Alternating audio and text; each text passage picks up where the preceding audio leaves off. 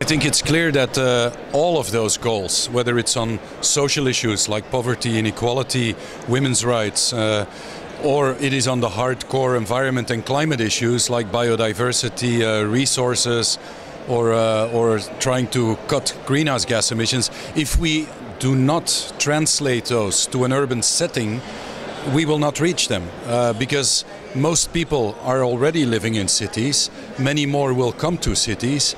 Uh, cities are systems in and of their own where all these issues interact.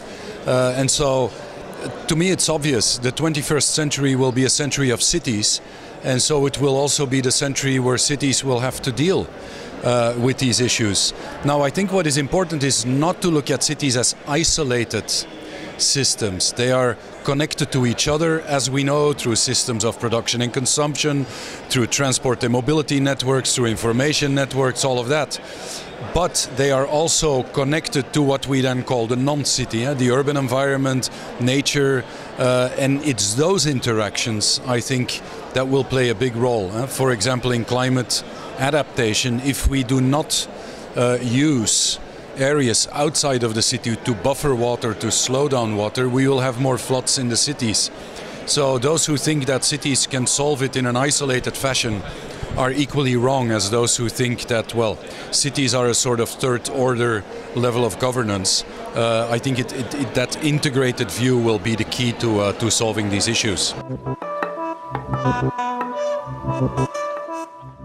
The Sustainable Development Goals for me are a major step forward from the Millennium Development Goals in that they make a much more integrated uh, it, it's a more integrated approach to linking the socio-economic dimension uh, where of course poverty still is a major issue on this planet, uh, to the, the sort of boundary conditions in terms of ecosystems, in terms of climate and, and natural resources that we are facing in the 21st century.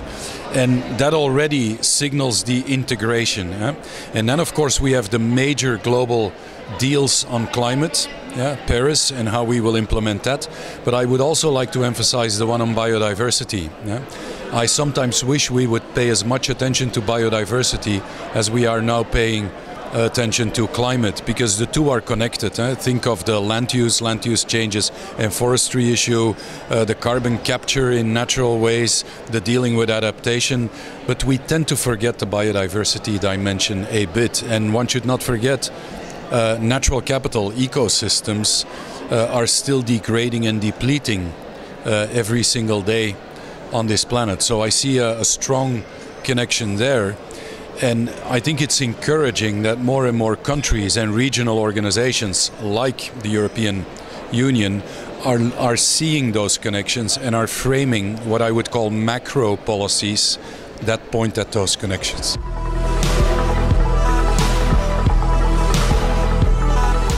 I think uh, we see that uh, increasing numbers of cities, and not only the big ones, are looking at these frameworks and are translating that, first of all, in local visions. Yeah?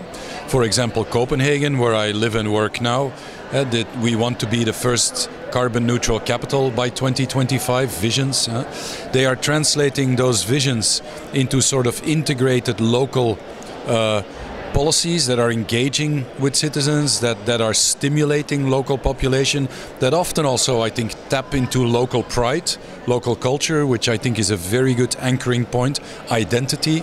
Can we use that strong urban identity in a sort of transition towards strong sustainable urban identity? And they are uh, stating levels of ambition that often far supersede those of national states. If you look at uh, compact Covenant of Mayors, uh, these cities are stating uh, levels of uh, CO2 reductions that most governments are not stating. So it's sort of the the vision, the embedding in a in a local context that is strongly needed, and then making sure that the ambition level is there to put the city on the map and, and to contribute to these goals. And another encouraging thing is, I think, the networking that is taking place, which organizations like ICLEI, of course, have played a, a, big role in that for a long time. There are many other networks that are operational. Uh, one could sometimes say that, you know, do we need yet another network when you see new ones emerge?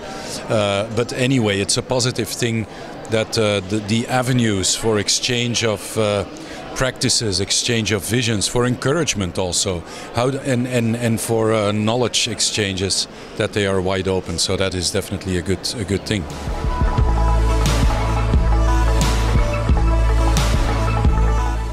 the ultimate uh, responsibility over many of the policies that are implemented in cities goes via national governments and they are embedded in international agreements.